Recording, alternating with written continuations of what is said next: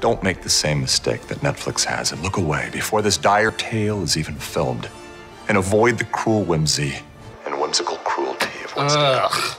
This marketing is so season one. Let's try this my way.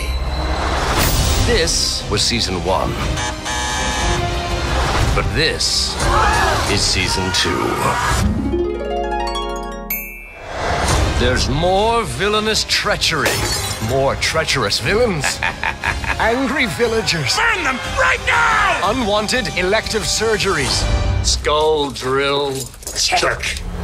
man eating lions, more violence, fire, and despair. Hello, hello.